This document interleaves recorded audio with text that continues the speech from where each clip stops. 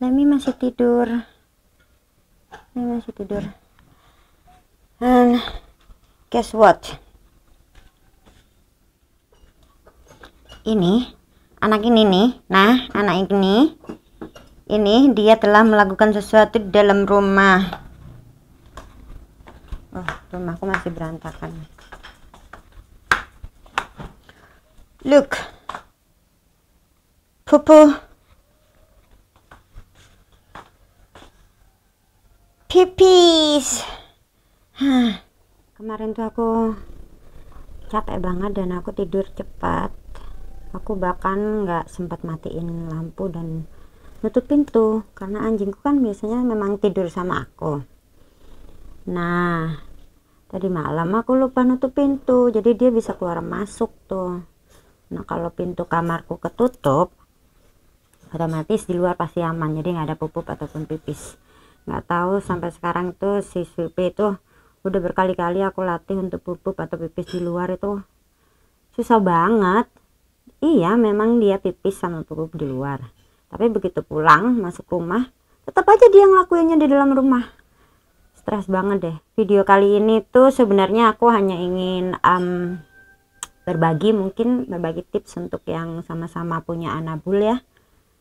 Um, baik itu kucing ataupun anjing yang uh, mendapatkan pengalaman atau kejadian seperti ini. Yeah anabulnya tiba-tiba pipis di atas sofa atau uh, di atas kasur misalnya.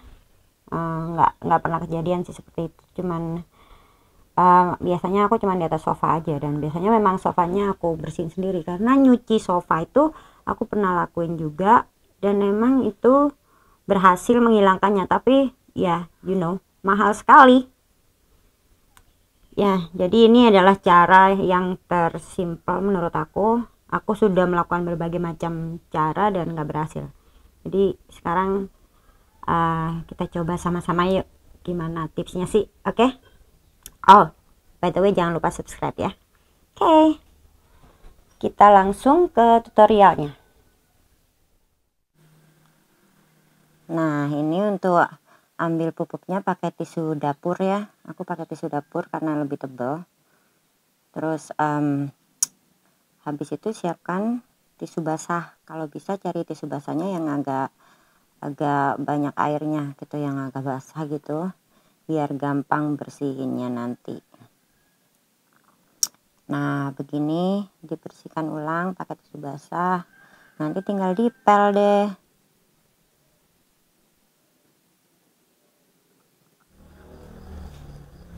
Oke, sekarang kita bikin solusinya buat nyuci sofanya.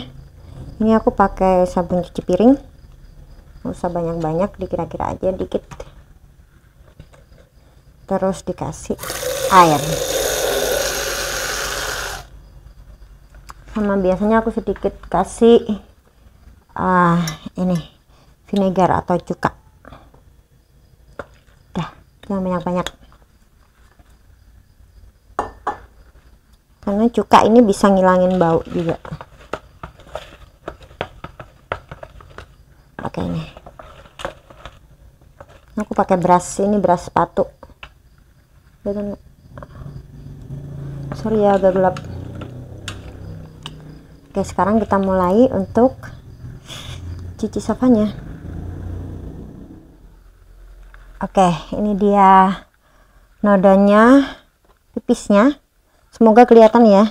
Hari ini udah agak malam deh udah malam karena seharian tadi aku sibuk dari pagi jadi baru sempat nyuci sekarang.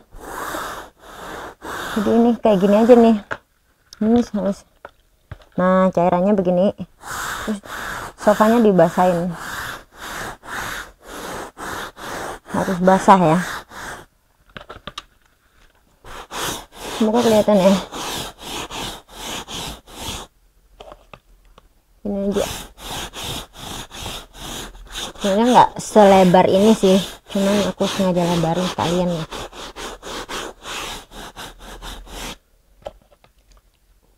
Yang di pas di tempat pipisnya itu agak dibanyakin aja nggak apa-apa.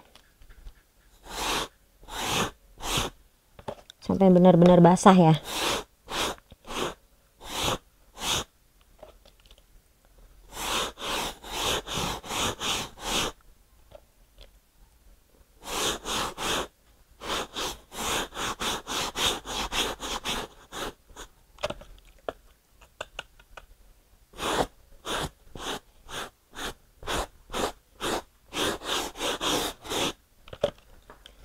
ini aku ratain biar nggak belang aja sih.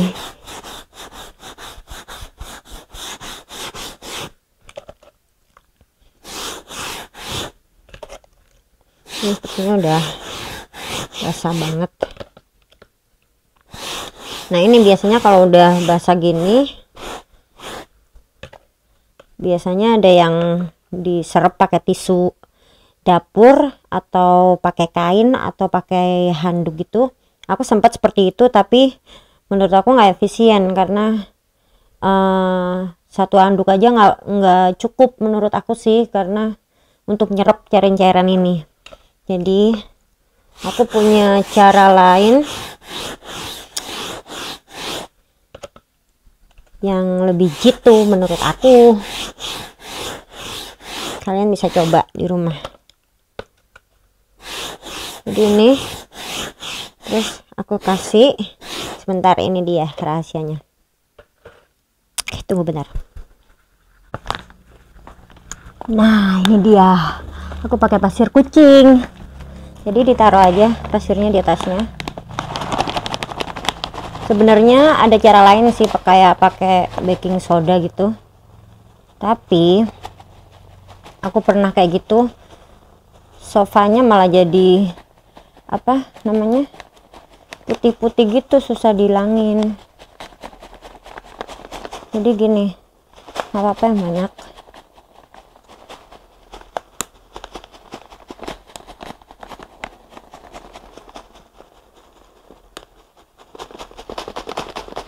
Diratain aja.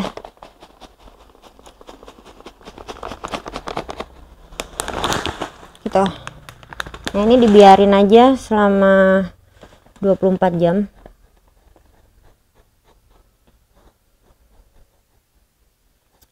nanti kita lihat besok ya. Setelah 24 jam.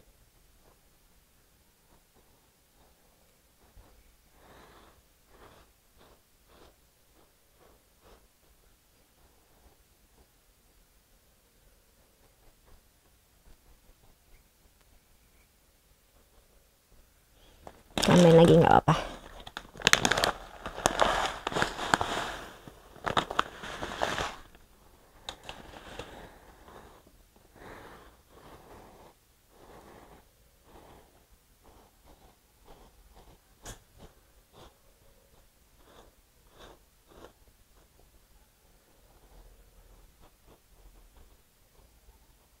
ini udah mulai nyerap oke gini aja ratain aja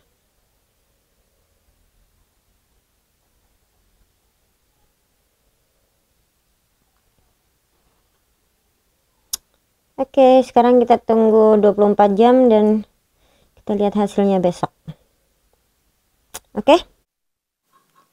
Oke, nah ini hari kedua udah terlihat pasir yang mulai gumpal-gumpal gitu.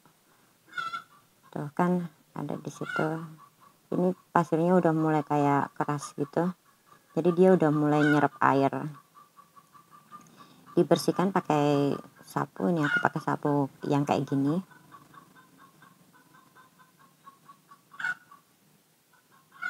Sain sampai bersih ya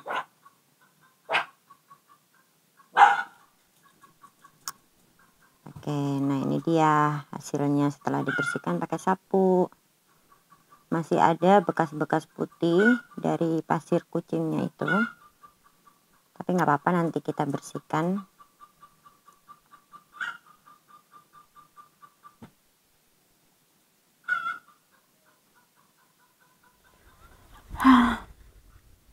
Beb, ternyata tadi nggak kerikot, aku lupa mencet. Jadi ini ya jadi nggak tahu deh. Jadi tadi stepnya begini. Jadi ini udah hari kedua ini aku udah selesai nih bersihnya tapi nggak apa-apa deh aku ulangin lagi ya. Jadi tadi itu kan ada kayak putih-putihnya dari sisa bekasnya pasir kucing itu nempel-nempel gitu. Terus aku lap jadi aku ulangin lagi aja deh. Aku lap pakai tisu basah. Merek apa aja boleh aku pakai yang ini. Karena dia kayak basahnya over gitu nggak tahu kayaknya kayak banyak banget cairnya jadi gini. Nah jadi agak basah. Dilap aja yang putih-putihnya itu. Gini. Jadi basah deh. Tapi nggak apa-apa lah. Karena aku mau berbagi tips ini untuk yang um, untuk kalian yang punya anabul juga seperti aku jadi kan karena ini tadi udah aku bersihin ya jadi sebenarnya ini udah bersih tapi nggak apa-apa aku ulangin lagi. Ini jadi kayak gitu aja dibersihin semua di jadi kalau misalnya masih ada di gini giniin aja. Gitu aja. Sampai hilang. Udah dibuang tisunya jangan disimpan. Terus aku pakai yang ini. Ah ini dia uh, antibakterial all in one disinfectant spray. Jadi kenapa aku pakai yang ini?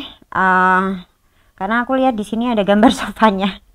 Itu tadinya yang yang jadi pertimbangan aku. Berarti ini aman untuk permukaan-permukaan um, sofa atau kain-kain kayak gitu. Dan ini juga ditulis permukaan keras dan lunak jadi aman. Jadi dan ini membunuh kuman dan bakteri penyebab penyakit. Dan di sini juga ada keterangannya bahwa ini bisa menghilangkan bau. Gitu jadi makanya aku pakai ini. Dan memang terbukti sih. Dan ini bisa digunakan di gagang pintu tempat sampah toilet permukaan dapur sofa kursi mobil kasur tempat tidur hewan peliharaan. Makanya aku pakai yang ini. Ini ada dua varian kalau nggak salah. Yang hijau sama yang ini aku nggak tahu kalau yang hijau baunya seperti apa tapi ini aku suka sih baunya. Jadi ini setelah di wipe sama tisu basah ya udah tinggal di sprayin aja gitu. Di sprayin. Ini udah kebanyakan beb. Dan Tara udah selesai dan kita cium. Skan nggak ada bau lagi hilang. Bersih lagi deh sofanya. Gitu. Ini udah bersih sih. Jadi itu dia tips dari aku. Uh, kalau kalian suka kasih tombol like nya ya jangan lupa dan subscribe dong. Um, oke okay, beb itu aja tips dari aku. Semoga bermanfaat dan see you in the next video. Stay safe and healthy. Bye! Love you